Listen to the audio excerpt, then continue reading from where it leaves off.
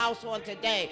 Don't let any of us, oh God, leave this place the way that we came in. Because you're great and you're mighty, oh God. You're an awesome Father, my God. Ah, the beginning and the end, the Alpha and the Omega, my God. You are the lifter of our bowed down heads, oh God. And we bless you in this house. Hallelujah. And so we thank you, God. Have your way, have your way, have your way, have your way, have your way, have your way, God. Bless the apostle, Lord God. As he brings forth the word on today, God, let it find a place in our hearts. Let us take this word out of here and into the marketplace, into the grocery store, God, into the uh, barber shop, oh God. Let us remember the things that he has taught us, that he's given us, that he's feeding us, uh, that we sheep can beget sheep. Bless the people online today, oh God. Let this word, my God, permeate the, my God, the, the, the, the airwaves on today and find a place, Lord God, ah, that you might be glorified and magnified and honored, oh God, ah, over the airwaves, God. You're great again, oh God. And we bless you in this house. Hallelujah. In the mighty name of Jesus, we do pray. Amen. Amen.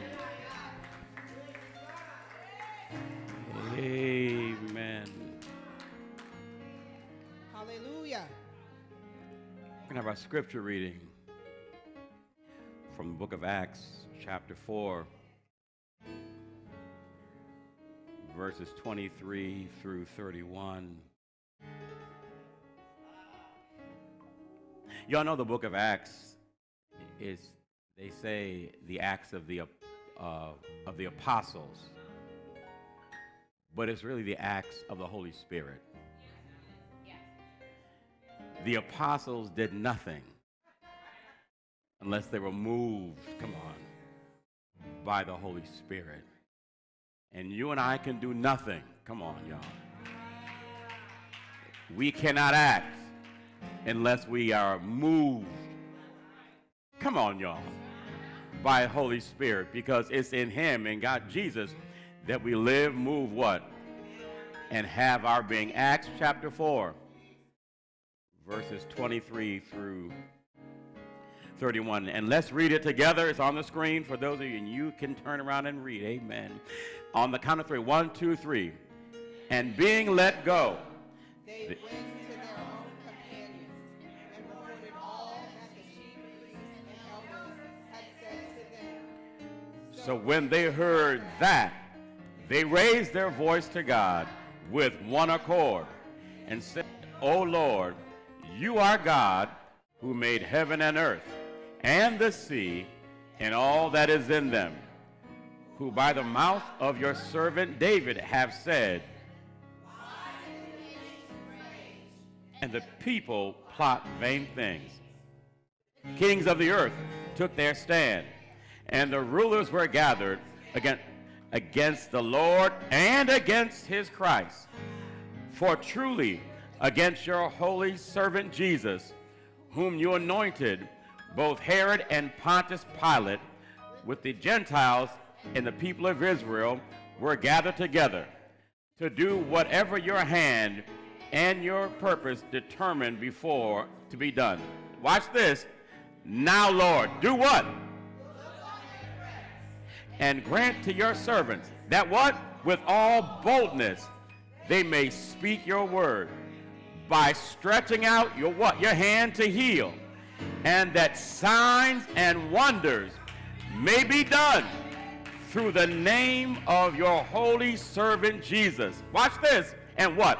And when they prayed, the place where they were assembled together was shaken. Oh my God. And they were all filled with the Holy Spirit. And they spoke the word of God with boldness. Come on, let's give God a praise in the building. Come on, we prayed and we read. Come on, let this place shake. Come on. That we might speak with boldness the wonderful things of God. Come on and bless us and take us into worship. Come on, come on.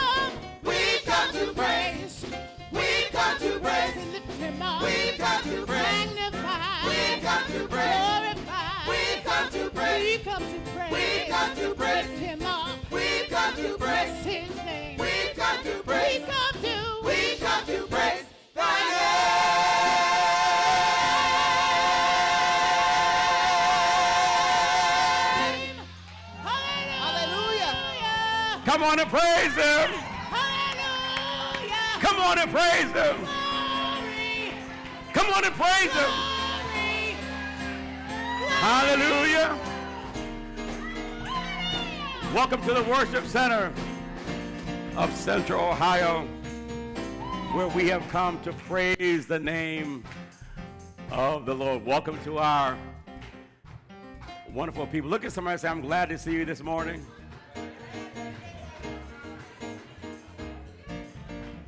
To our online guests, we're glad to see you. We're glad you made the choice to tune in to watch us and to celebrate and worship with us. Before you go to your seat, just go hug somebody and say, I'm glad to see you this morning. I'm glad to see you.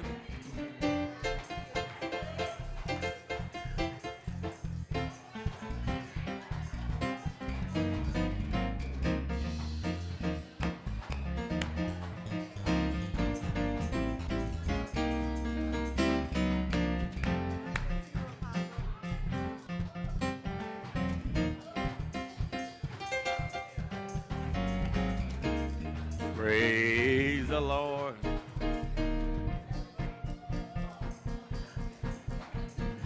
I'm gonna go hug somebody because somebody ain't moved. I'm gonna go hug somebody. Amen.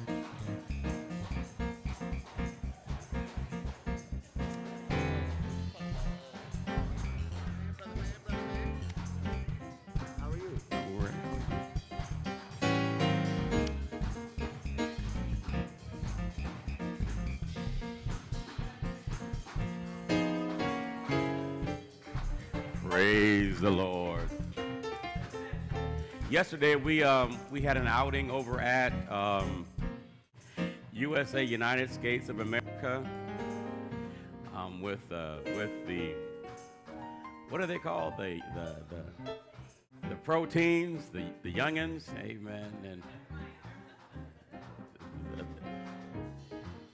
and it was um, Maya's birth where's Maya? She's back there working. Amen. Learning how to was her birthday yesterday. We had a kind of celebration, and folks were skating, and um, and you know, Donnie McClurkin had a song some years ago. It said, "We fall down, but we get up." And I kept telling everybody, you know, uh, I didn't skate. Out full disclosure, I didn't skate. I can skate. I got some skills but wisdom. Come on, I exercise wisdom. And you know, um, when I went in there, um, I kept we were skating, uh, brother Michael. I kept looking at them, and and they were out there on the on the floor, and I kept saying to all of them, I kept saying, "Fall, fall, fall." I said, because if you fall, I'm gonna laugh.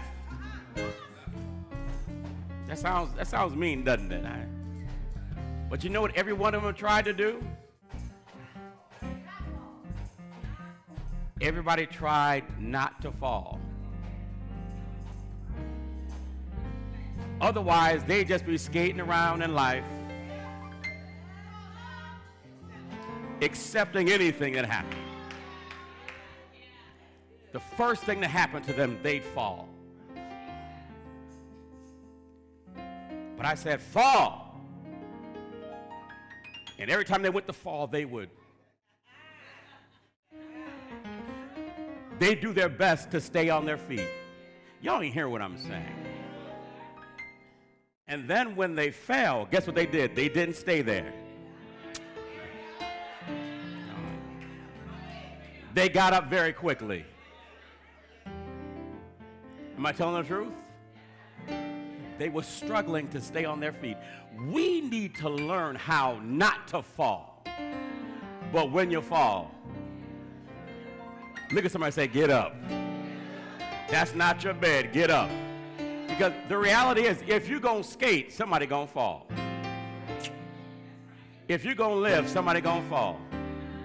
But I dare you to get up when you fall. Give God a praise in this building. I guess I'm the only one that came to be excited about the Lord. Hallelujah.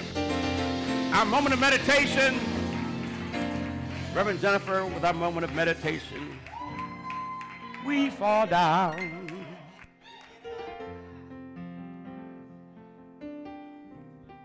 Since you're getting up, can you get up as we read the scripture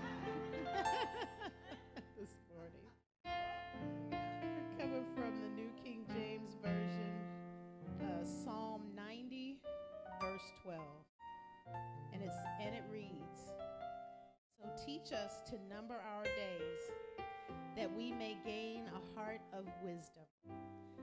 And then the contemporary English version simply says, Teach us to use wisely all the time we have. You may be seated.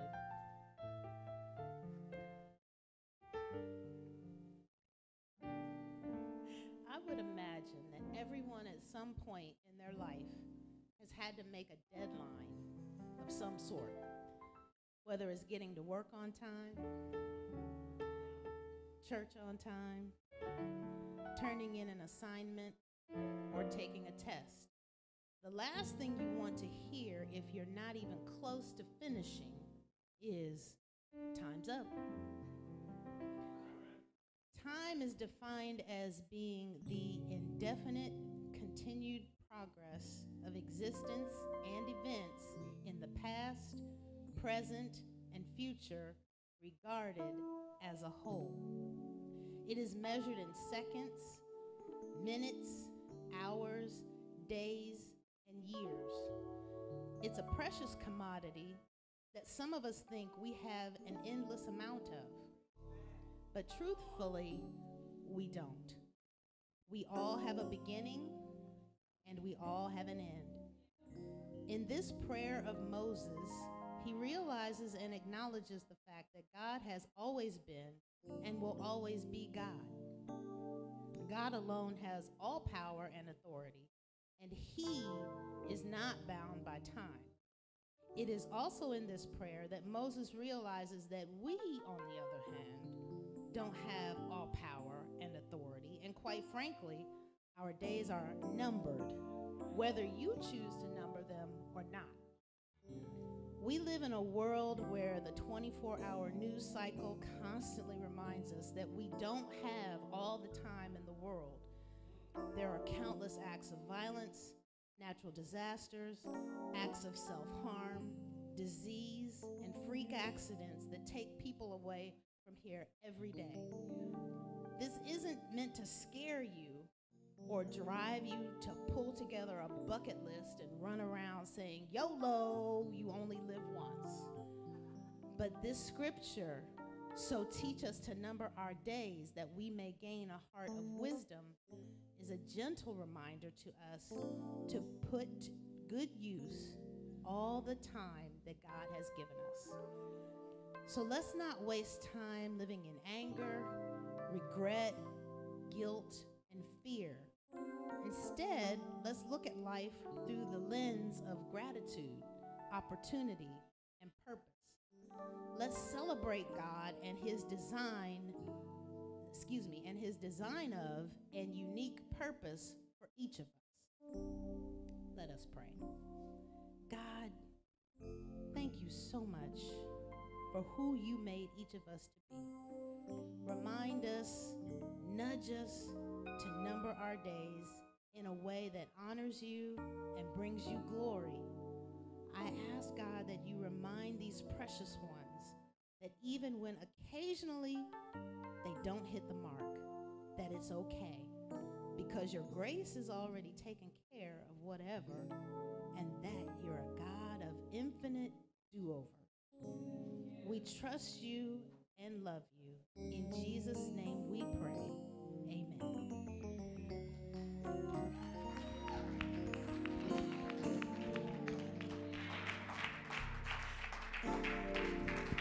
Teach us, O Lord. Teach us, O Lord, to number our days so that we don't waste time.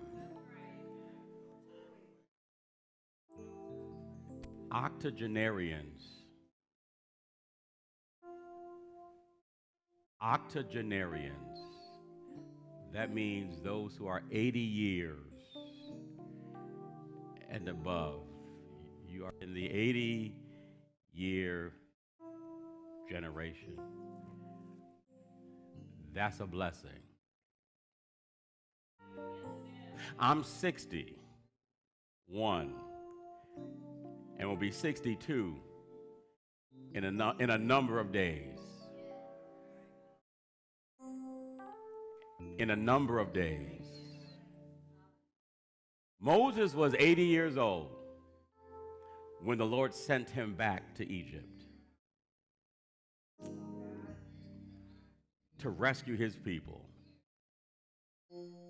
But somehow, in our society and culture, we want to say the 80 is the year of retirement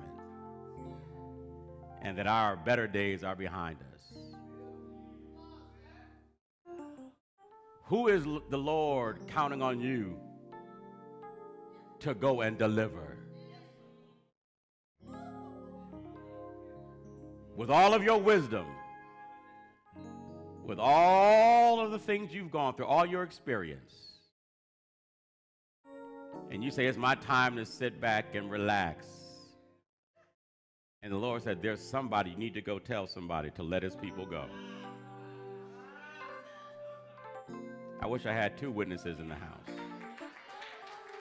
So that means that those of us who are in our, and I'm going to preach about this, in our teens, in our 20s, in our 30s, you think 30 is old, don't you, young people?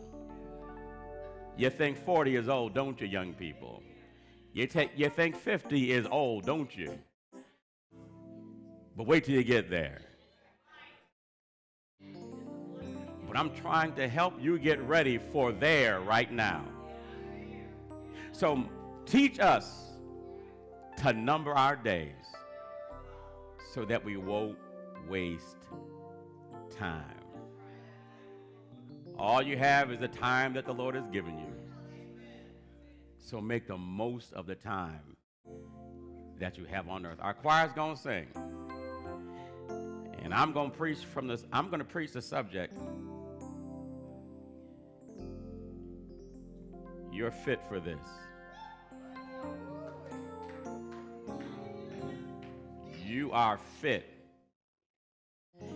And and Sister Zelda, I know the I want the children to stay in here today.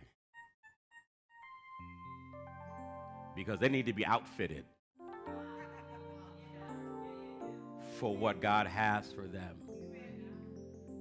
Amen.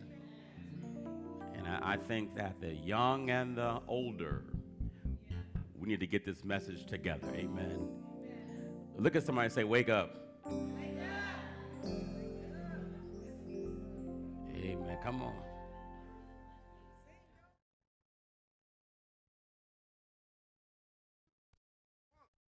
Yeah, we got it.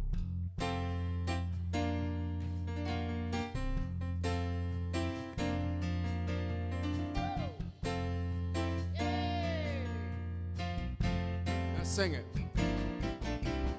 Lord our God, how excellent is your name. We bow at your feet, Lord, we reverence your holy name. Angels bow before Angels bow before you, heaven and earth. heaven and earth adore you. Oh Lord our God, how excellent is your name. Say it again. Oh Lord, Oh Lord oh, our God, how excellent is your name. We bow at your feet, Lord, we reverence your holy name.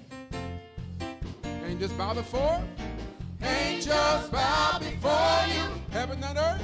heaven and earth adore you. Oh Lord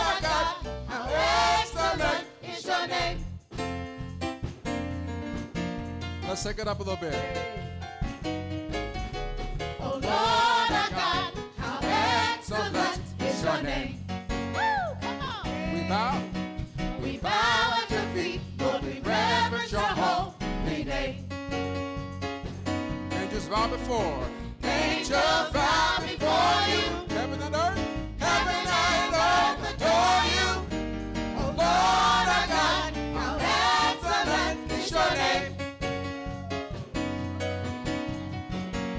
Take it up again. Oh Lord our God, how excellent is your name. We bow at your feet. We bow at your feet, Lord, we reverence your holy name.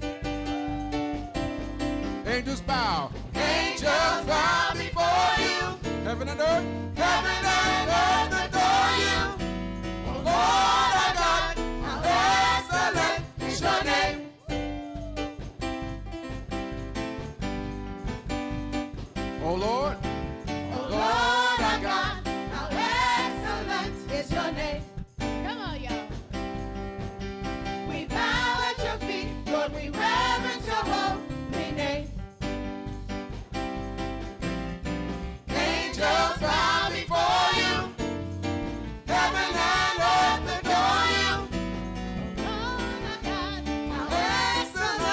Krishna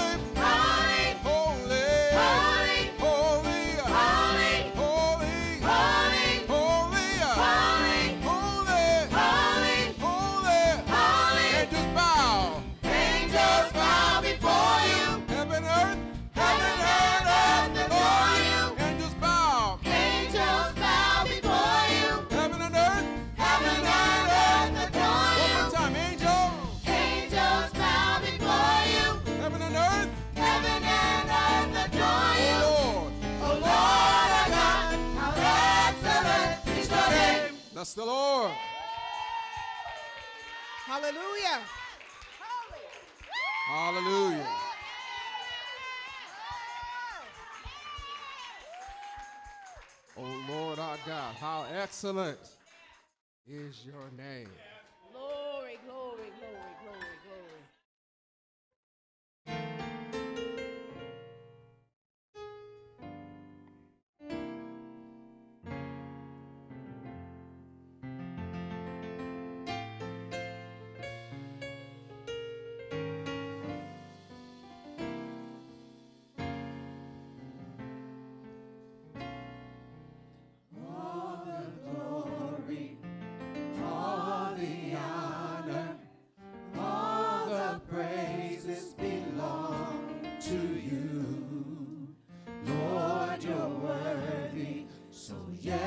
yes, I'll praise you in everything.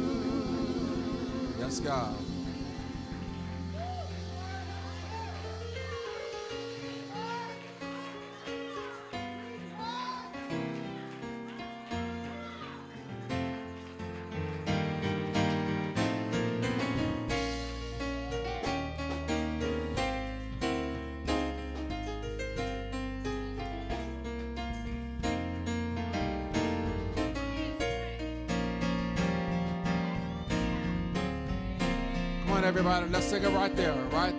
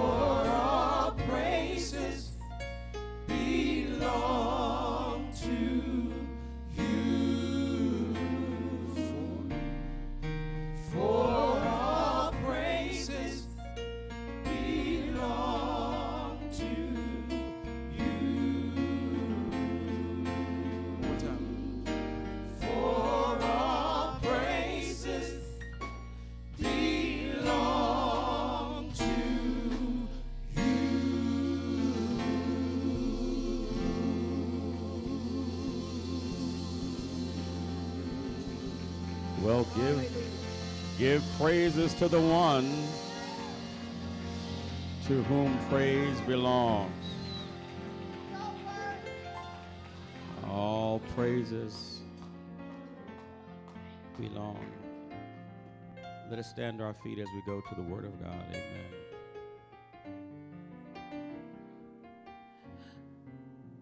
Paul wrote in the book of Romans, I beseech you, therefore, brethren, by the mercies of God, that we present our bodies as a living sacrifice, holy and acceptable unto God, which is our reasonable service.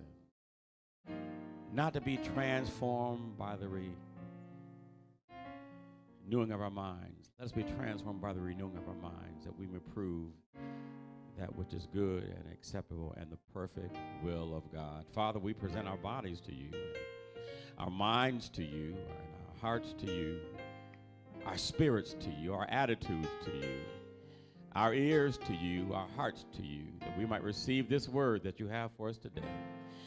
Father, from the youngest to the oldest, let this word find lodging in the deep recesses of their spirit, Father. Magnify yourself, Lord, in this place as only you can do. Give us power, Lord, and perception to speak a rhema and a ready word to your people right now. In Jesus' name. Let this word be time stamped. Let it be a seed that will be planted in their spirits. But at the right time, it will go off when necessary. In Jesus' name, amen. Let's thank the Lord for our music ministry. All praises. Um, the book of uh, 1 Samuel, chapter 17, verses 32 through 40. I'm going to be reading from the New Living Translation. And I um I know today is children's church, usually on the second and fourth Sundays, but I um I, I want a word and could everybody please stand? I want to I want this word to um, to be for and to to our children and to the parents who used to be children.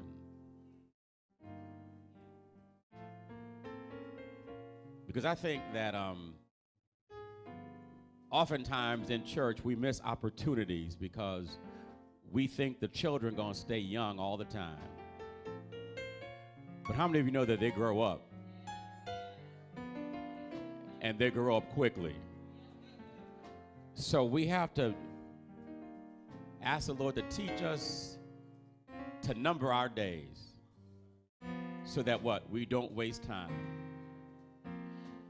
Five years from an eight year old child, an eight year old is going to be 13 in five years. There's a huge difference between an eight year old, y'all ain't talking to me, and a 13 year old. And there's a big difference between a 13 year old and an 18 year old. So we got to get that 13 year old at 8. Because we don't get him at 8, we're going to miss him at 13. And if we ain't get him at 13, come help God help us when they get to 18. Because then you can't tell them nothing. That's why we got to get them young. Y'all, come on, y'all, talk back to me. And so this is a message to everybody in here, to the younger people. How old are you, sir? How old are you? Nine. Lord have mercy. And he taller than me. That don't take much, but he. But that's what we have to get. And and and when you look in the Bible, the men and women who were really doing things were young people. They were young people. And that's not to say we discard the older people. Come on, Hunt. We, ne- we need your wisdom.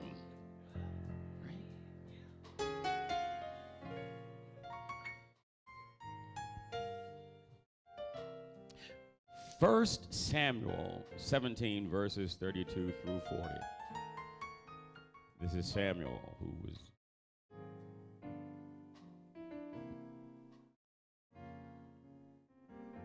writing about the life and the exploits of David. This is what he says. He says, This is David talking.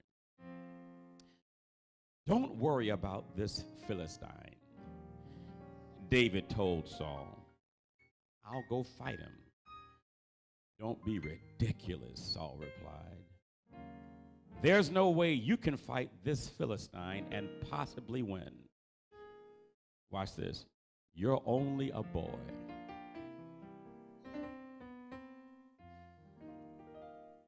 You're only a boy. And this is grown folk business. You're only a boy, and he has been a man of war since his youth. In other words, he's been fighting longer than you've been alive. But David persisted. We need some persistent Davids. I've been taking care of my father's sheep and goats, he said. When a lion or a bear comes to steal a lamb from the flock, I go after it with a club and rescue the lamb from its mouth. If the animal turns on me, I catch it by the jaw and club it to death. I have done this to both lions and bears, lions and tigers, and bears. Oh my. And I'll do it to this pagan Philistine too, for he has what? He has defiled the armies of the living God. The Lord, this is David, a boy talking. The Lord who rescued me from the claws of the lion and the bear will rescue me from this, from this Philistine. Saul finally consented. All right, go ahead. He said, Watch, and may the Lord be with you. Then Saul gave David his own armor, a bronze helmet, and a coat of mail. David put it on, strapped the sword over it, and took a step or two to see what it was like. for he had never worn such things before. David said, I can't go in these. He protested to Saul, I'm not used to them. So David took them off again. He picked up five smooth stones from a stream and put them into his shepherd's bag. Then, armed only with his shepherd's staff and sling, he started across the valley to fight the Philistine. Verse 39 said, David said, I can't go in these. He protested, I'm not used to them. So David took them off again. I'm going to preach and teach from a subject I'm fit for this. I'm look at somebody say I'm fit for this. You may be seated. I'm I'm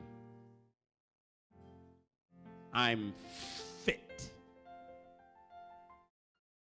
for this. Whatever Y'all listen to me. I'm I'm I'm fit for this. Whatever I want you to I, I want you to hear me clearly. Whatever your this is,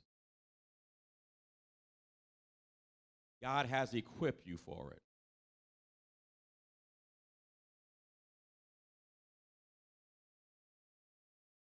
Whatever you are going to have to face, God has already equipped you for the this that you're going to have to deal with.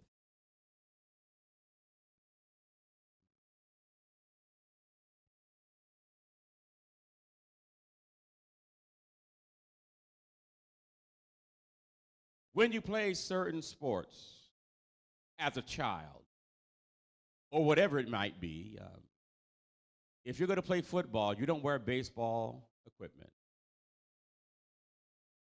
Your, your, your parents, watch, your parents make sure that you are properly equipped because they want you to be successful. You would not go on a football field with hockey equipment. You can't skate on a football field, and you'd look mighty ignorant and stupid. And what's more, you would not be able to uh, exercise or to demonstrate your natural ability if you had hockey equipment on a football field. And, and what's more, people would laugh at you and you would be humiliated. No good parent would have their child improperly equipped for what they're about to engage in. And I'm going somewhere with this because if you think your parents, your, your earthly parents, know how to equip you for the game of life. What makes you think that our Father would not equip us properly for whatever we're going to have to deal with? I wish I had a praying church here. Uh, um, um, th- there are two important days in the life of an individual. At- least two important days. Number one, the, the first day is the day you were born. That's a great day. My, my, my, the day I was born is April 28th, 1962. Guess what? That's a great day. If you ain't happy about it, I am. I, I, come on. I, April 28th, 1962, at, at, at, at, in the morning time, I, I, entered the world. That was a great day. And that, that was an important day because it was a day the Lord has made, and somebody rejoiced at my birth because they had to go through some pain. And who knows the circumstance or situation, but somebody rejoiced when I entered the world. When I cried, somebody shouted. Y'all ain't helping me here. When you came, somebody cried. You cried, but somebody else said hallelujah. Because you it was an important day, Calvin, when you came out of the birth canal. You got slapped on the behind and you said, Ah, you are here. You. That, that was a good day. The day you were born. And the second important day in your life is one is, is the day you were born. Second day is the day you realize why you were born. You, you, you It's good that you were born, but do you know why you were born? And everything that the devil is doing in your life is to keep you from understanding and walking in your why. Because when you understand why God put you on this earth, you become a problem.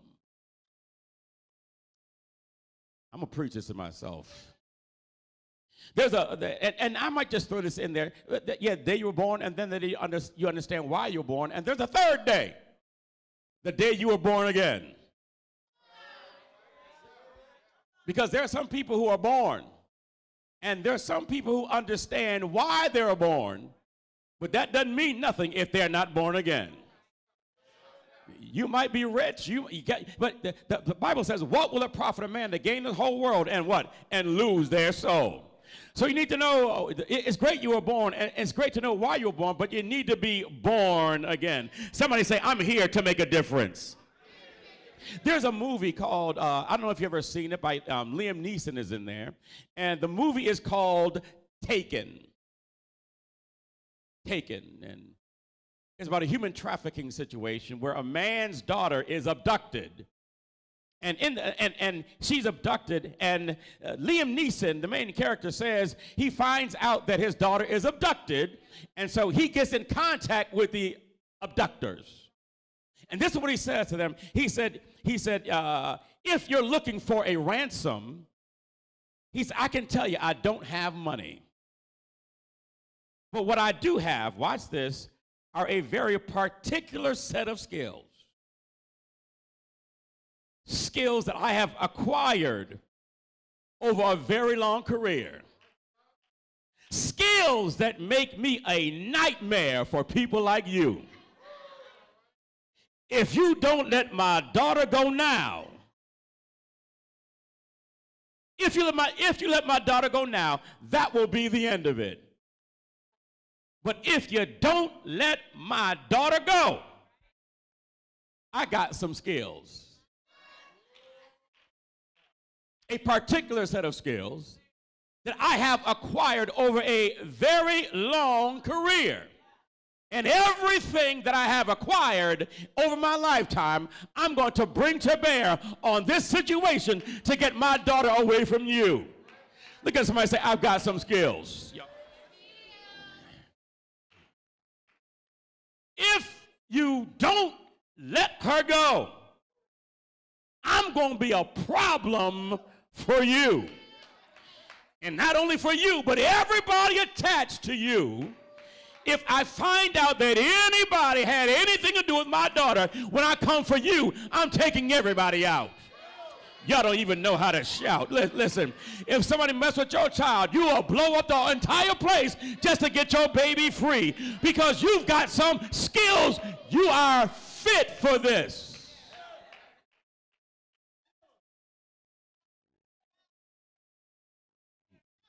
I've got a particular, a very particular set. He did not say, I have a unique, particular. He's letting you know that there's somebody else that has those skills as well. Guess what? You aren't the only one who's anointed. You ain't the only one that can sing. But there are some people who use their gifts and their talents to get other people out of bondage situations. If you don't let my child go, you're going to have a problem because I got the skills to deal with a devil like you. Other words, he said, I'm fit for this. He was fit for that. In the, the movie Lion King, you remember that? Hakuna Matata means no worries for the rest of our days. It's our problem free philosophy. Hakuna Matata there was a problem with that song because Simba was running with warthogs when he should have been walking with kings.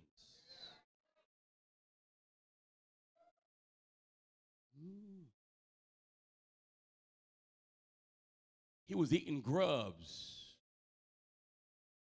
things he wasn't supposed to eat because that wasn't in a lion's appetite. It wasn't on the line. Y'all ain't help. Yeah, I'm going deep in this thing. It, it wasn't on the on a lion's menu to eat vegan. Lions were the king of the jungle. They were the top of the food chain. And here is Simba who had a destiny hanging around with a warthog, turning over logs and eating insects. When he was supposed to be dealing with the circle of life. Y'all ain't helping me. And, and- but he's, he's running around singing Hakuna Matata when he should have been roaring like a lion in the jungle. But now he's reduced himself to singing a song with a pig, forgetting who he is. It's our problem, it's our problem free. A warthog, a warthog is not a lion. Lions and pigs have different destinies. So why are you as a lion singing a pig song? Is our problem free philosophy? No. You've got a destiny and it's tied up in who you really are. I wish I had a lion in the house. If you are the lion of Judas, you ought to roar in this place. Come on. Ah, roar!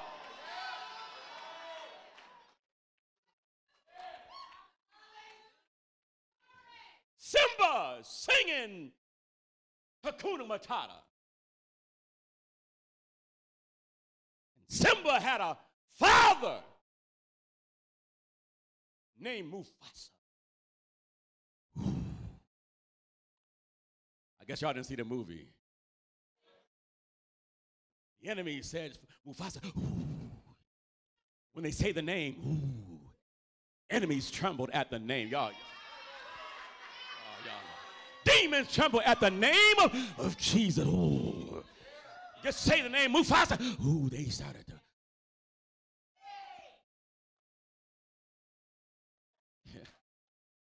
Mufasa.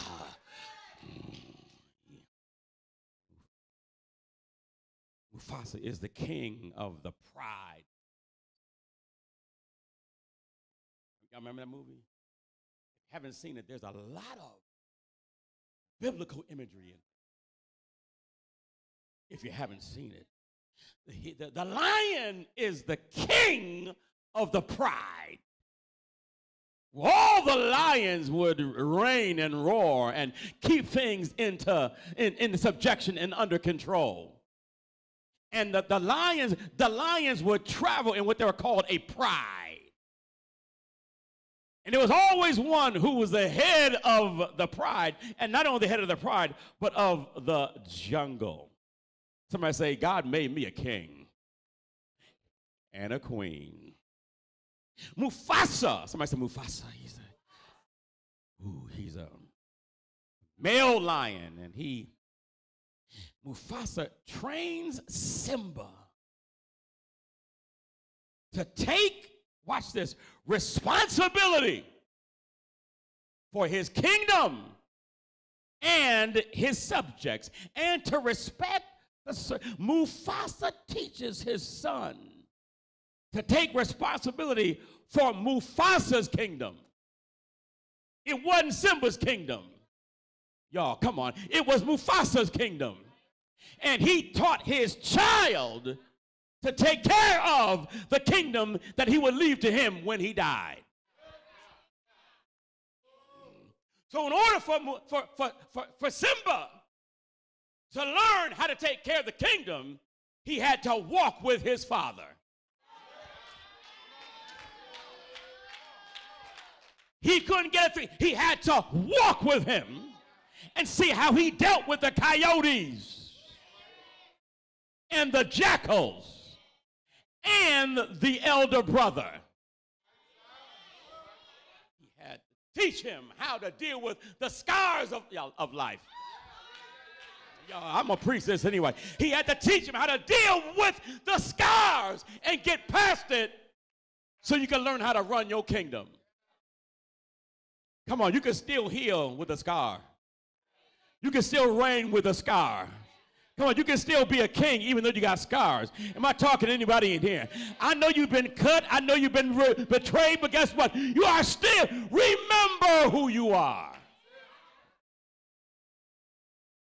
Simba tries to live a life that's devoid of responsibility. And Simba's father from the great beyond, Calvin, had to speak into Simba. Mufasa had to speak into Simba's life from the great beyond. He said, Simba, remember who you are. Look at somebody and say, Remember who you are. You be betrayed by a scar. You will be betrayed by somebody close to you. But you need to remember who you are. God created you not to run around with pigs, but He called you to reign.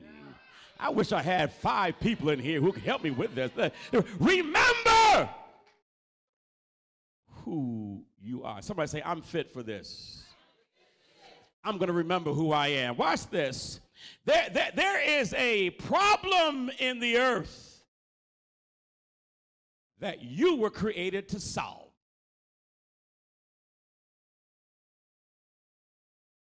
There's something, there's a reason, Dwight, why you were created in the earth. That's because there's a problem with your name on it. And guess what, y'all? That's your assignment. Huh? And you can't run around life talk about Hakuna Matata. It's my life. I can do what I want to do with it. You can't run around talking, it's my, I can do what I want, it's mine. No, your life is not your own because God created you with a divine assignment. You're not here just to breathe and take a breath. There's a problem in the earth, and we're singing Hakuna Matata. I'm going to preach this anyway.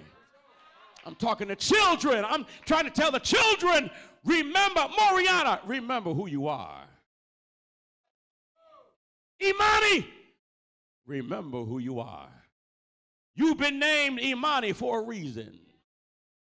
Guess what Imani means? It means what? Faith. Now, faith is the substance of things, come on, y'all, of things hoped for. Y'all don't even know when it's out. We've got a faith warrior in the house right now because she is a problem.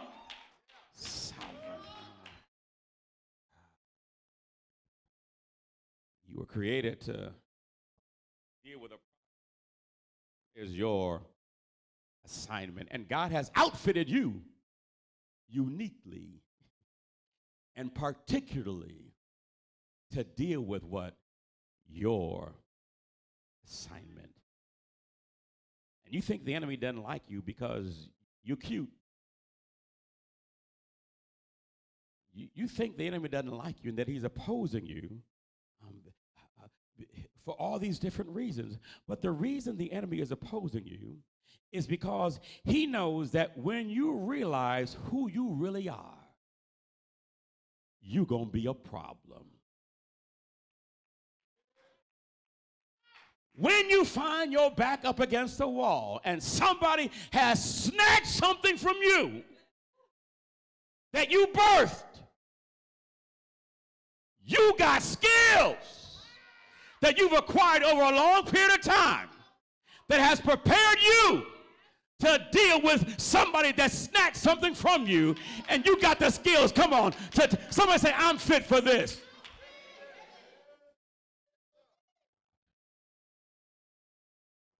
I'm, I'm, I'm, I'm, I'm fit for this. A, a tailor, anybody ever had a custom made suit? have, a- have a custom made suit. Customized. Guess what? I can't wear Michael Patterson's suit. I don't care how good it looks. I don't care, it might be made of the finest fabrics. But I'd look like a fool. It would not be able to function if I wore something that was tailor made. Come on, y'all. For Michael Patterson. He gonna look, it- he gonna, he gonna put it on, it's gonna fit him just right. He's gonna walk with confidence because he paid for it and it was made. Come on, just for him. Oh my God. When the tailor takes his measurements and, and, and, and, and, and makes accommodations for growth. Because guess what? When you start feeling good, you are going to grow. But, but, but when they fit him, it fits him just right. And when he step, watch this, when he steps out in his tailor-made outfit, Zelda, Mike knows he's looking good. You ain't gonna tell him he's looking good. Because he feels good. You look good, you feel good. You feel good, you play good. That's Dion. But when you got it on and it's tailor-made, nobody has to tell you how good you look. Because you know you look good. Yeah, I, I guess I'm talking, you know, yeah. When you know you look good, nobody got to tell you. you. You just walk good. Yo, I guess y'all ain't ever felt like that. But not only will Mike know he look good, but his wife gonna say, "Baby, you look good." Somebody gonna signify. It's gonna make Mike walk with a dip in his. Because he's been something has been cut. Watch, just for him. Y'all missed that the cutting part. God cut Jesus on the cross just for you. So he could give you a blood tailor-made suit. So y'all ain't helping me. So you could walk in all the power. He cut me.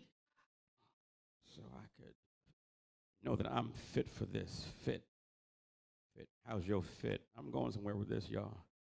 I'm going somewhere. Um, your, your fit. And I have to tell you that um, I said last week I had a confession and I was dealing with some things and going with it. It's something that's called imposter syndrome.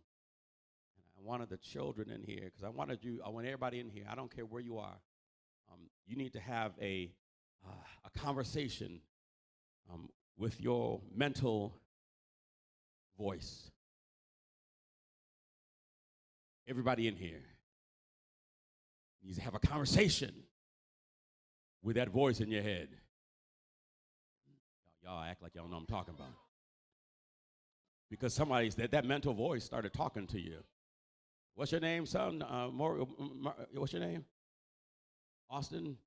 We all have these conversations in our head that nobody can hear but the one speaking and the one listening. And that mental voice might be telling you some things that have nothing to do with your destiny. And the reality is, some of you are listening to that mental voice right now rather than listening to the Word of God. And I don't care how long you've been in church, if you don't keep your mind that your mind focused on Jesus, you'll find yourself listening to that voice rather than the voice of y'all helping, rather than the voice of God. I'm trying to tell everybody in here, you are fit for this. That's why we got to get them young. Jesus was in the temple at the age of 12. At the age of 12, answering, come on, scribes and Pharisees at the age of 12. When his parents came to find him, they had gone two or three days and forgot about the fact that they had left Jesus behind in the temple. But when they found him, he said, Don't you know I have to be about my what? My father. He understood that he was fit for this at a young age. Trying to tell y'all young people in the Jewish culture, 12 was a woman for, uh, what, what, what was the age of adulthood for a woman? 13 for a child, for a boy. Y'all ain't hearing what I'm saying? They didn't baby them, they taught them. They apprenticed them because they understood that they were going to be. Mary was 14 years old when she was carrying Jesus. I'm not trying to listen. I'm not trying to say y'all need to have it. No, I'm not saying that. But understand this that she was 14 and carrying the King of Kings and the Lord of Lords. So let's go deep on this. Yeah, at 14, you can carry. Being birthed by the Holy Spirit, you can carry something within your spirit that's going to deliver a whole generation. You see, y'all get in the physical, in the spirit, at a young age. God can implant something in a young girl. It's going to be a blessing to the nations. Someone say, I'm fit for this. I'm fit for this. And imagine a 14 year old Mary who was carrying Jesus for all those years. Imagine how dangerous she'd be at 50. She has a unique or particular what? Set of skills. And if you mess with my baby, I'm, I'm going to deal with you, but he's already in glory. But I still got some skills to deal with the devil here on earth. You, you, you mess with my, my son, and he's in heaven right now. But if you mess with my children, you're going to have to deal with my set of skills.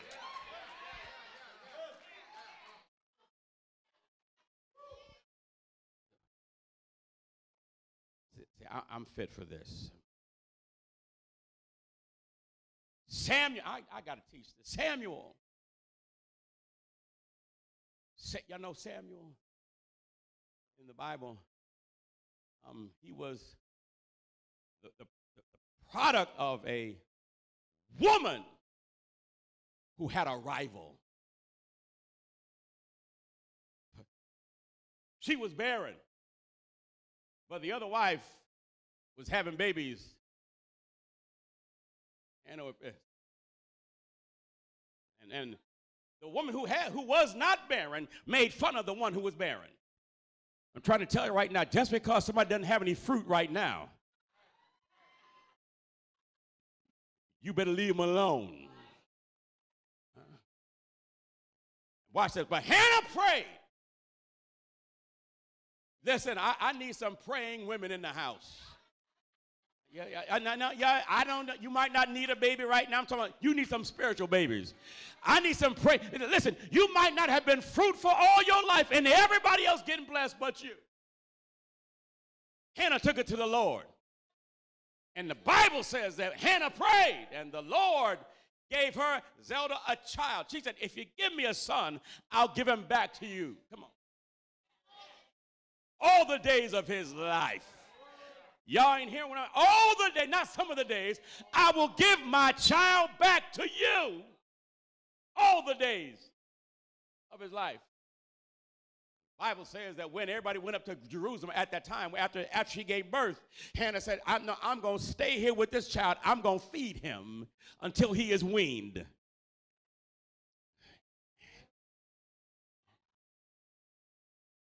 Till he can't get any more from me. I, am going to put him in the presence of the Lord. So the Lord can feed him for what he's about to walk into. Y'all ain't hear what I'm saying. Samuel was a baby boy. The mama had enough sense to say, you know, you gave him to me, I'm going to give him back to you. And watch Eli. Eli, I, I don't even know why. I know why I'm here, but I'm trying. Eli was an evil sorry high priest. But the Lord still allowed Samuel to be trained up under an evil, unreliable priest. You talking about church ain't nothing. Get your behind in there because God can still raise you in the middle of corruption.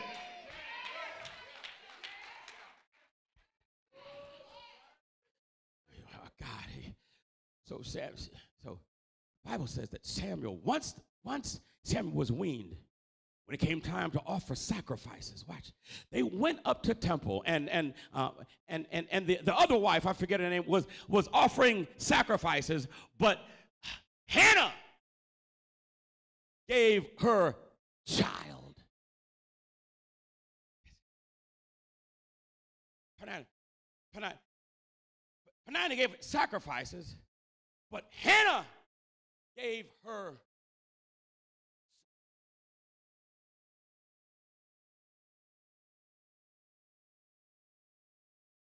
she gave to the Lord her firstborn,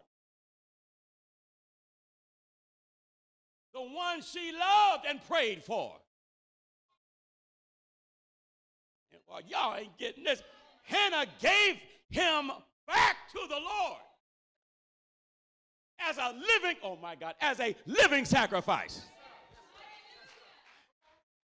Not something that was over the hill, but he was going to be raised in the presence of the Lord.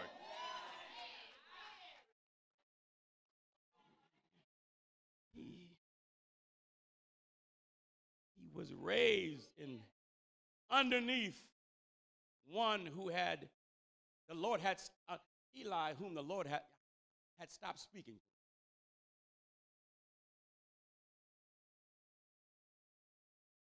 No dreams or visions. Words from the Lord were rare. But, but when Samuel comes, watch it. God stopped speaking to Eli, but because there was a child in the presence, the Lord started speaking again. Y'all, y'all, that's why, listen, you need to get your children in church. Because guess what? The mama might not, the grandmama might not be it. I don't care that daddy might not be anything, but guess what? Get your child in church. And the Lord will speak to the child, even bypassing the parent.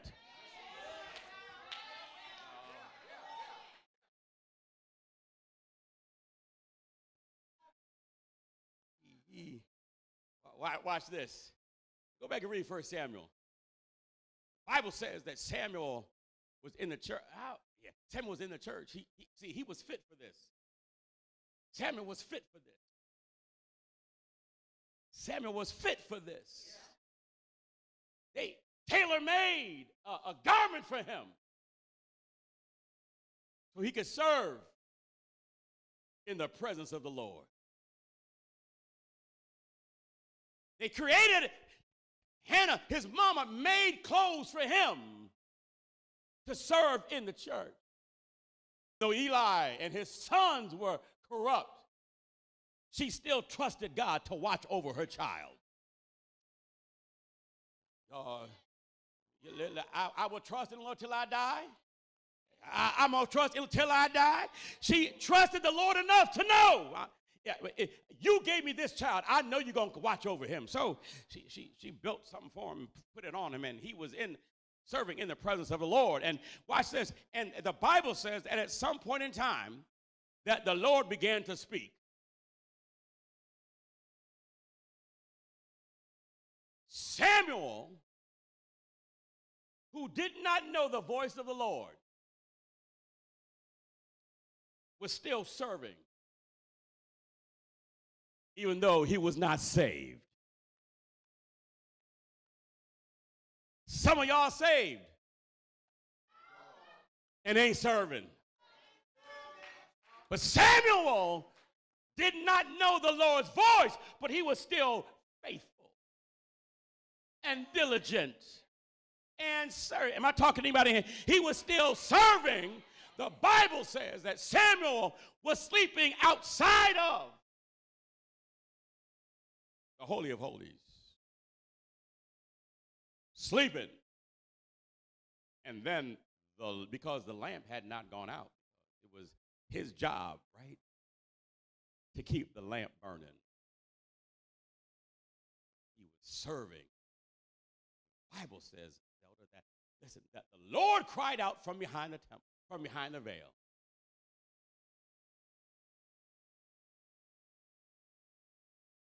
Samuel wasn't afraid.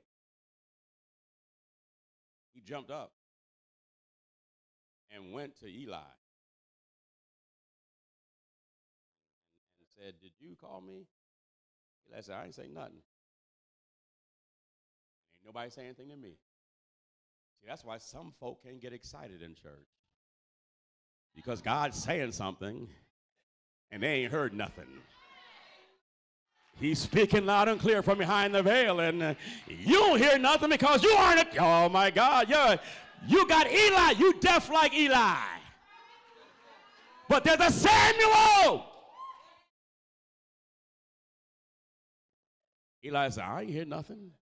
Go back to sleep. so I'm gonna say to all y'all sleeping, go back to sleep.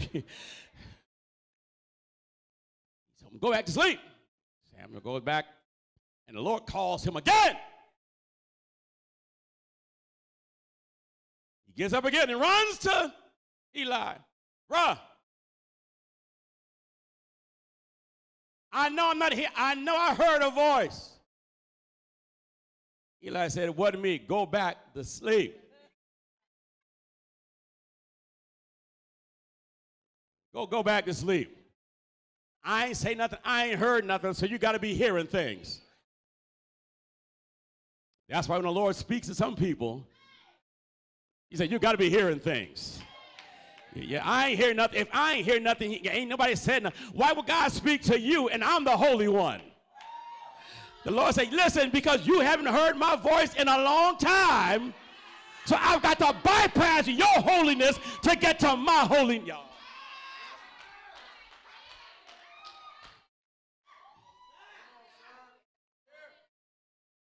Then eh, Eli got the message. He said, Wait a minute, it could be, could be that the Lord is talking. I, ha- I haven't heard his voice in a long time, but, but, but, but, lie down again. And when you hear him say, Your servant here. He didn't, he didn't do what he was supposed. Eli hadn't done, didn't do what he was supposed to do, but he still knew how to teach somebody else how to hear the voice of God. Y'all hear what I'm saying? You better help somebody hear the voice.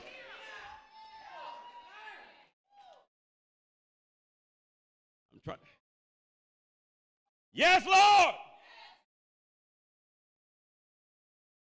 Your servant, not your anointed not your apostle, not your high priest, but your servant.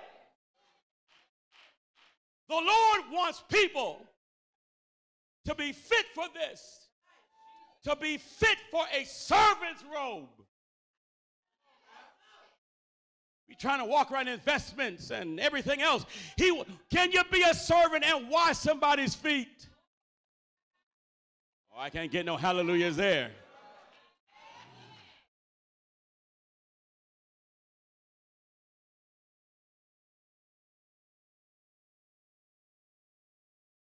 Samuel was raised from the days of a child. The Bible says that during all of his life, not one of his words fell to the ground. Not one word. Not one. Everything he said came straight from the throne room of God. And what God said to him, he said to the people. And everything that came out of his mouth, come on, came to pass. I don't know about you, but I want to have that Samuel anointing. That whatever comes out of my mouth, come on, God's gonna make it come to pass. I wish I had somebody who was fit for y'all ain't saying nothing. Like,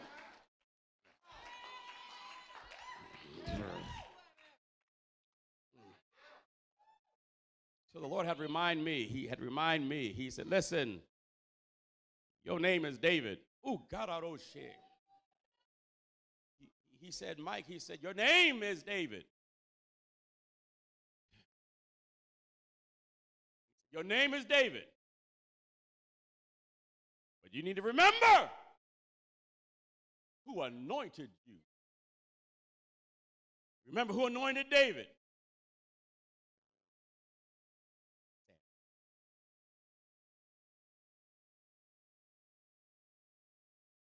You only got anointed. David got anointed only because I told him to anoint David. Watch this. Somebody say eight. Bible says that David was number eight. David wasn't invited to the party when the anointing was taking place. David was out in the field. Come on, wake up! Was out in the field taking care of sheep. Bible says that Samuel had the anointing. He had the oil, but he didn't have anybody to anoint.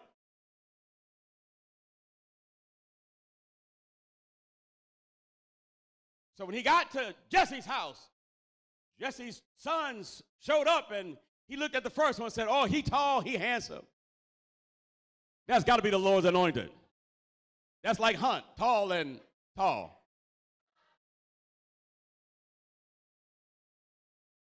Look at the outward appearance. Come on, y'all. And, and decided based upon what they saw, that's got to be the one. Number one, that wasn't the one. Number two, come by. Number three, Samuel's got that anointing oil. Saw Samuel's ready to anoint somebody. But the oil can't flow till it finds the right head. So he, he says, he said, he, Samuel said, I, Samuel was itching to anoint somebody because he knew he had the right house, but he had the wrong number.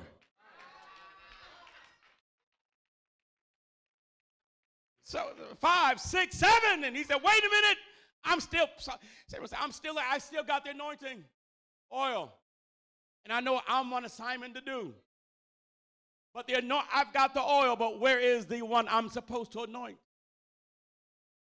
Number seven. No, number seven. What's the number seven mean? Completion. I went through everybody in your family completely.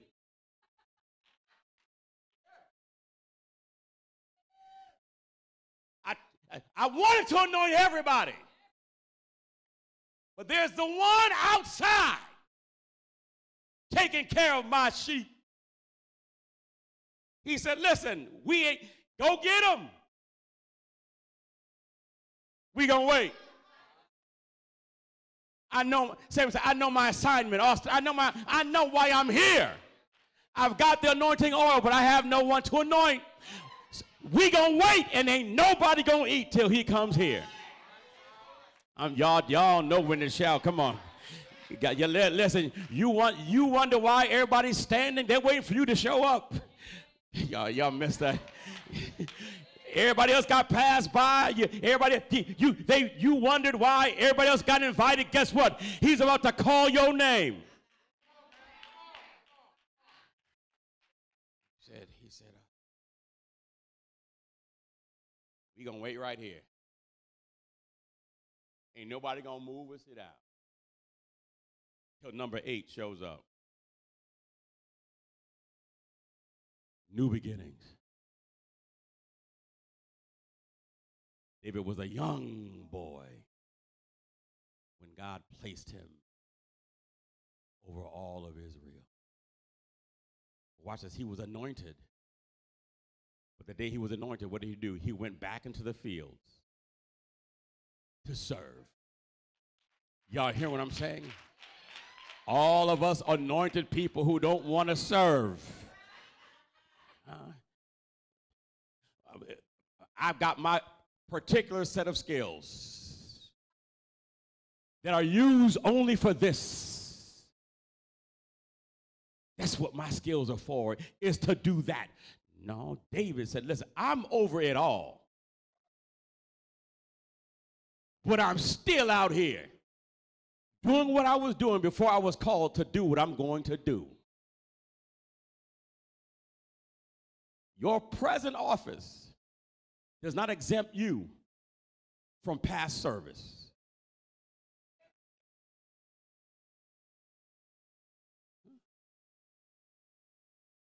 Everybody is fit for this.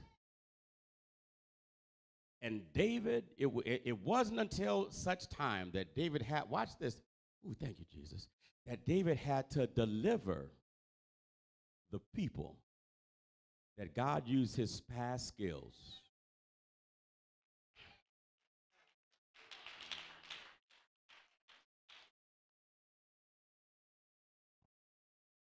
What did David say? He heard Goliath taunting the people of Israel. They were on one side, Philistines, and the Jews were on the other, his, is on the other side. And for 40 days, Reagan, and 40 nights, the giant was crying out into the valley. No need to have everybody die. Just send out somebody. Just one. And we can settle it. And if they win, we'll be your slaves. If we win, you're going to be our slaves. And nobody, watch this, nobody, even the king, will go out and fight that giant. David was at his house. He went there to bring some food to his brothers on the front line. And and he, watch this, he heard the taunt of the Philistine. And then he said, wait a minute, who is this? This uncircumcised, come on, this un, y'all come on. Who's this uncircumcised Philistine talking about what? My God? David said, bro, you must not know who I am. I got a particular set of skills that if you don't let my people go, I'm going to be a problem y- y'all hear what I'm saying? There's, I'm going to be a problem. David said, Ain't nobody done nothing. Everybody in the church, ain't nobody going to stand up for the Lord. Y'all all going to sit there while this uncircumcised Philistine talks about our God. David said, wait a minute. Why, but watch this. David said, uh, watch this. David, David was a businessman. He said, what, what would a person get?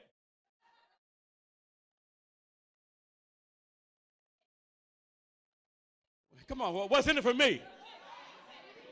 Come on, if, if I use my skills, Come on now. I, come on. I, I, I, work for, I'm, I'm fit. If I use my, what do, what do I get if I take this giant down? There, there, said, wait. He said, what? He, he said, you, you can marry. The king gonna give you his daughter. David said, that ain't nothing. David said, I got riz. I got, y'all know about that. David said, I get women. David said, and that ain't no problem for me. But, but then they said, you and your family, you and your family won't have to pay taxes forever. David said, Give me my, my shoot. Let me say this. Don't got to worry about April 15th forever. Every dime I make is mine. No tithes, no offerings. Y'all should shout right there.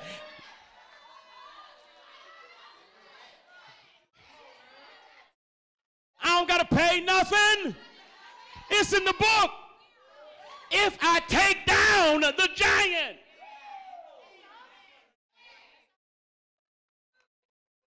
there's a, that's light work. I dealt with a lion and a bear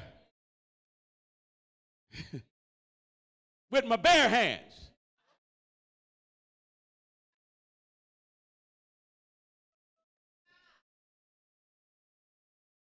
This is the point I want to get to. He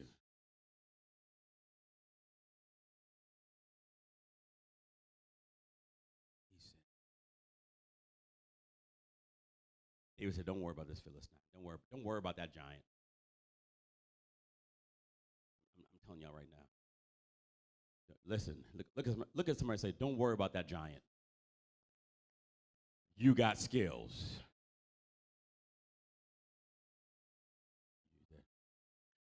that you've acquired over a lifetime. You didn't know your skills were preparing you for this. You had no idea that the Lord was outfitting you custom made for the one you're going to have to rescue. Somebody say, I'm fit for this. Don't worry about this giant. You gotta, you've already dealt with the giant in your head. Telling you you'd never make it. Huh? David said, Don't worry about this Philistine. He said, I'll go fight him. And then, you know, he said, Don't be ridiculous. You are, you are, you can't fight this Philistine because you are just a boy. You, you, you, you, you arrogant little boy. Sit down. This grown folk business. If were grown folk business, how come folks ain't taking care of business? Pause. If the king had been doing his business, it wouldn't have required a boy. Y'all ain't hear what I'm what he said. Said, uh, I've been taking care of my he's give him his resume. If the animal turns on me, I catch it by the jaw, club it to death. I got skills. Done this lion and bears. I, I got skills. I'll do it to this pagan Philistine too. He has defiled the armies of the living God. The Lord, he said, The Lord rescued me. Y'all don't hear what I'm saying. The Lord rescued me. See, he knew the Lord. The Lord rescued me from the lion, closet lion, and the bear, and he'll rescue me from my from this Philistine. Paul, Paul Saul said, Okay, go ahead. May, may the Lord be with you. go ahead. May, and may God be with you till we meet again. Lord, watch between me and thee. Then watch this. Then Saul gave David his own armor a bronze helmet and a coat of mail. Imagine Saul, six feet something, giving to David something that wasn't made for him. David had a nerve to try, David put it on and he said, You know what? I, I can't, I can't move in this. Watch this. I can't watch. Y'all hear this? David said, Listen, I have not used this. I know you ain't using it. So, no use in me using it if it ain't working for you either. Huh? I you ain't used it, so why you gonna why you gonna have me wear something that ain't working for you? Some of the stuff happening in churches right now ain't working. It, it, it ain't working. And some young folks are like, come on, uh, I can't sing that song. That's not my armor. I ain't fit for that. Oh, y'all got choirmen right there. Y'all know how it was growing up We're in church. I'm, I'm going to say this real quick. We're growing up in church. Hawkins family came out. Church had a fit. Old church had a fit. Old church had a fit because it was contemporary. Oh, happy day with the Hawkins family. Oh, that was secular. I want precious Lord, take my hand.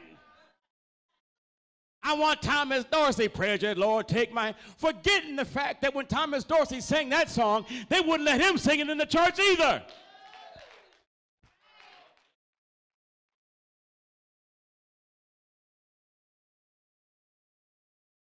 David said, I can't wear this. It doesn't fit me for what I'm about to do in my next phase of life. I'm grateful for how it you used it, but I'm not fit for that. I'm fit for David took it off. He took off his vestments. He took off his robes. And he put on his shepherd bag. He took five smooth stones. Five is the number of grace. And the Bible says that he said, uh, God said, "You come at me with, with a dog." David, David didn't wait for the him to, for the for the giant to come him. The Bible says David ran toward him, took it on the way, took it out, hit him in the forehead. And it wasn't the blood, it wasn't the rock in his forehead that killed him. David took his own, David took Goliath's sword. And finished the job. Listen, don't play with your giant. You, you, you listen, don't just knock your giant out. Take that sword off your giant and finish the job. Y'all ain't hear what I'm saying. That's why when I tell people to praise the Lord, come on. Uh, the, all of that kind of, you know, it, it gets the devil kind of woozy, but guess what? When you open your mouth and give God praise, come on, that's going to finish the job. I need some finishers in the house. Come on, let's give God a praise. Come on, I'm, if you're fit for this, come on, give God a praise in the building. Hallelujah. Hallelujah. Hallelujah. Let's give God a praise in the building. Give God a praise in the building. Come on, Terry.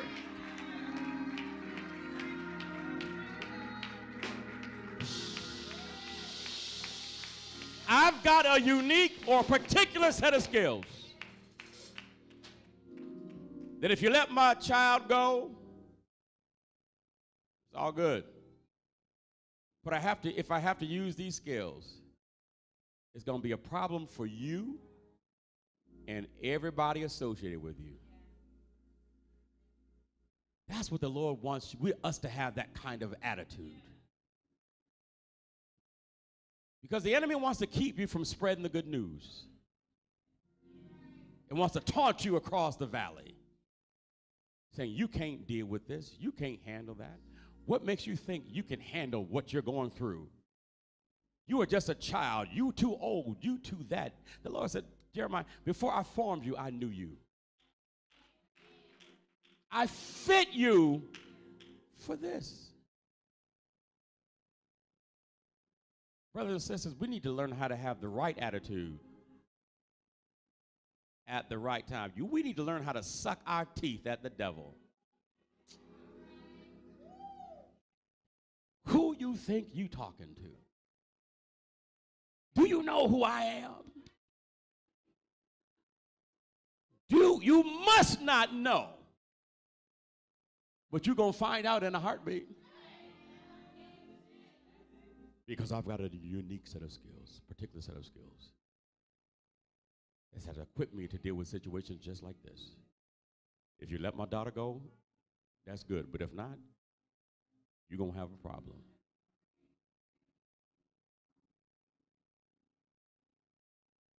Act like the next person that you're talking to is being held hostage by the devil. The person on your job.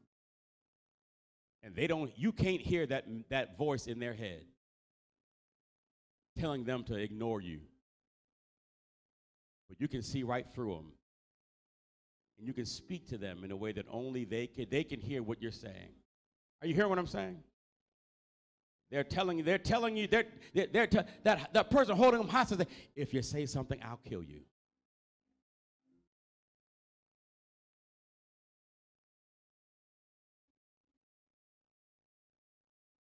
Because you hear the voice of the Lord speaking. The Lord will tell you exactly what to say to that person. The Lord will give you a word in your ear that comes from only the throne room of God to ask them a question that only they can know the answer to. And they'll know it's the voice of God coming from your mouth. And the devil will know it too. and they'll have to let that person go. Y'all ain't hear what I'm saying. Has that ever happened to anybody? You, you, God gives you a word that only, a word of knowledge.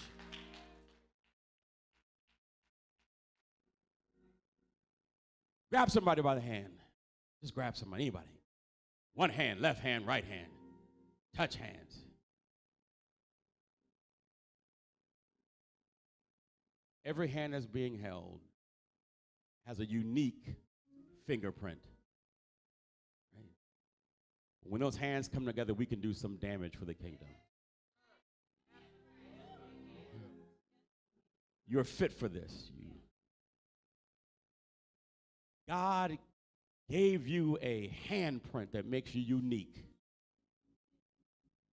And that when you touch it, God uses you. Come on, it's credited to your account and glory. But when we come together as a people,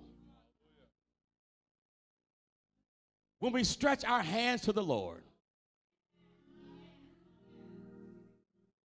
as one body in Christ, from the youngest to the oldest. I don't know about you, but I know I'm going to hear the Lord say, Well done, thou good and faithful servant. You've been faithful, what? Over a few things. Now he's going to say, Enter into the joy of the Lord. Come on, put those hands together and bless the Lord in the house. Hallelujah.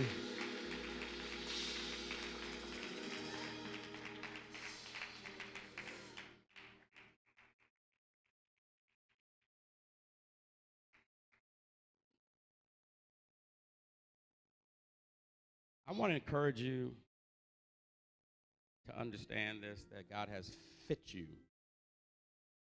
He has brought you in, He's equipped you. And read Isaiah, I mean, Jeremiah chapter 1. Before I formed you in the womb, I knew you and I ordained you to be. Dot, dot, in 2 Timothy chapter 2, I believe it is, when Paul tells Timothy to fan into flame the gift. I want to fan into flame. Come on, the gift that's within you. I know you got it because he said, I laid hands on you. And I know your heritage. I know your mother and your grandmother. I know it's in there. I know you're dealing with a hard time, Calvin, but it's in there. Fan in the flame. Give blow on your gift. Give oxygen to it. Stop letting the devil suffocate.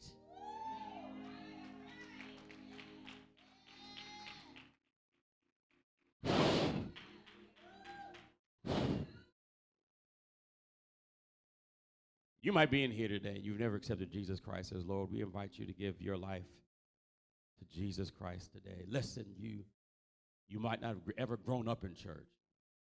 You didn't have a Samuel experience. But guess what? Samuel was serving even before he knew the Lord. That eliminates that excuse.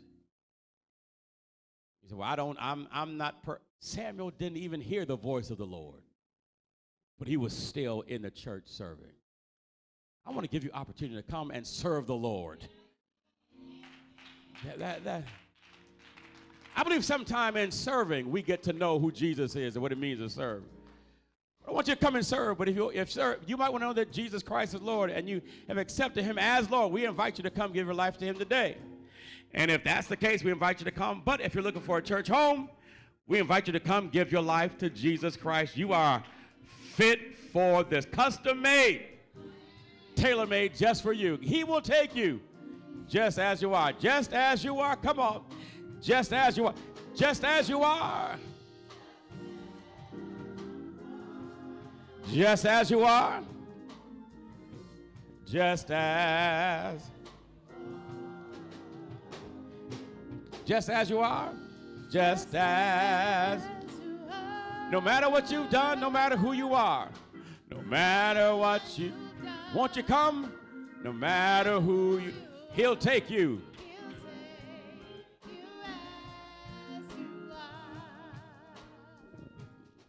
Well, we have done it as the Lord has required.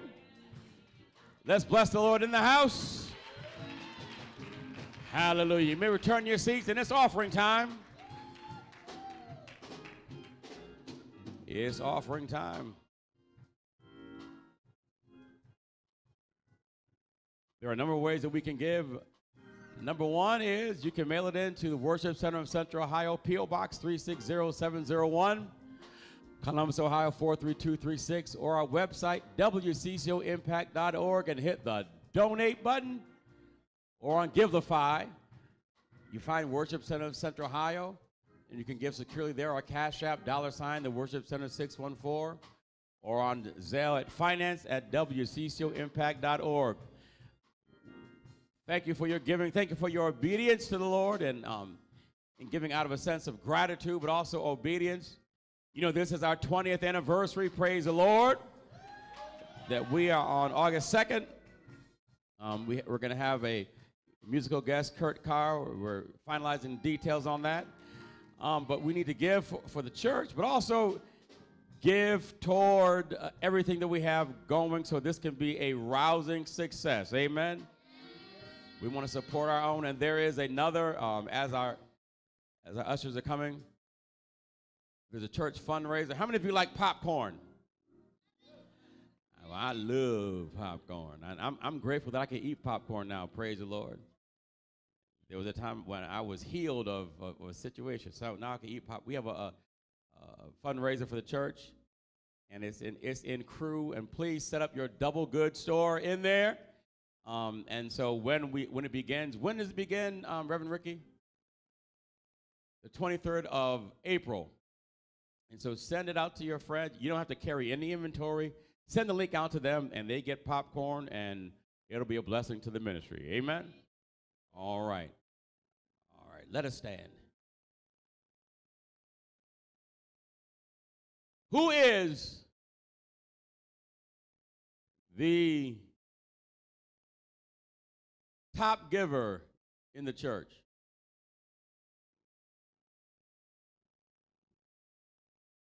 Who wants to be the top giver in the church?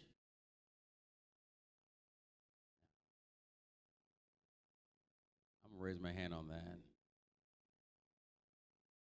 Because that says, Lord, I, I, uh, Lord, I want you to bless me. And then when you bless me, I'll bless my house. See, some people are afraid of being blessed because of the responsibility that comes with it. Who wants to be the top giver in the church?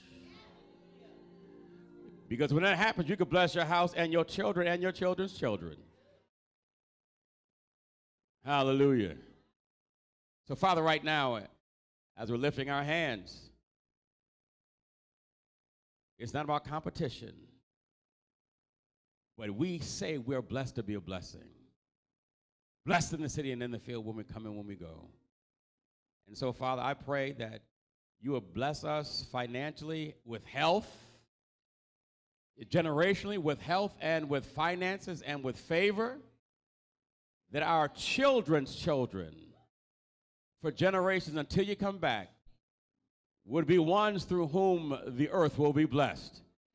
Because we are the seed of Abraham, and we give you glory. In Jesus' name we pray. Amen. Please follow the direction of our ushers from the back. Come around from the back and give here, then go back down the center aisle. Bring the tithes and offerings into the storehouse, that there might be food in my house. And see if I won't open up the windows of heaven and pour you out such blessing that there will not be room enough to receive. Give, and it shall be given back to you. Good measure, pressed down, shaken together, running over. Well, man, give it to your bosom. Amen.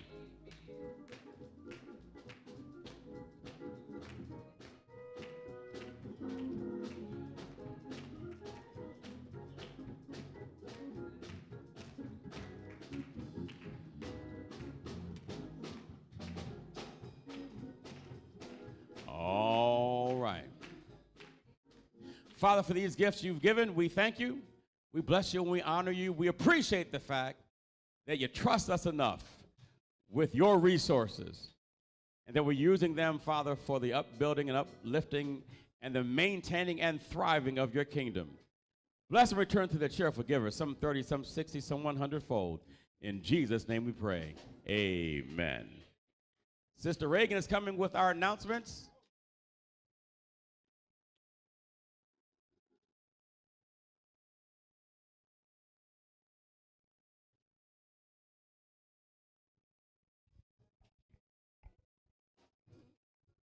Good afternoon, church. April 20th, every member is encouraged to join us via Teams for our Memberment Empowerment meeting at 10 a.m. We have another opportunity to raise funds for our 20th anniversary events. Starting on April 23rd through April 27th, we are asking every member to sell double good popcorn.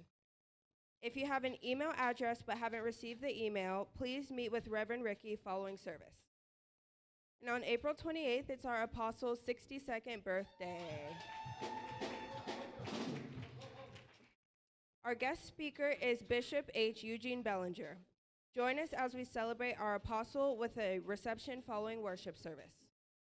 And as we continue to grow our ministry, please check Crew in the newsletter to stay connected. Praise the Lord. And we want to be in prayer for our, our church family. Landa Cornuden family has had some uh, tragic events, um, deaths. Um, there's sickness running rampant, um, cancer situations. But you know what? That's a giant that we can slay. Amen. And have that kind of mindset that you have a particular set of skills that the Lord has equipped you with to deal with whatever giant you have to deal with. Hallelujah. All right, let us stand. Because God says, I'm a lender. I am no longer in debt because God says I am prosperous. I never go hungry because God is my provider. I am not the tail because God says I am the head. The devil cannot curse me because God says that I am blessed. I walk in health because God says what? I am healed. I am blessed to be a blessing. Our mission statement says the worship center exists to transform lives and disciple nations in the name of Jesus Christ. And now unto him who is able to do exceedingly abundantly above all that we ask or even think to the only wise God be glory, honor, dominion, majesty, and power, both now and forevermore. And the people of God shouted, Hallelujah. Look at your neighbor and say, I'm fit for this. See you on Wednesday at 6:30 for prayer and 7 for Bible study. Amen.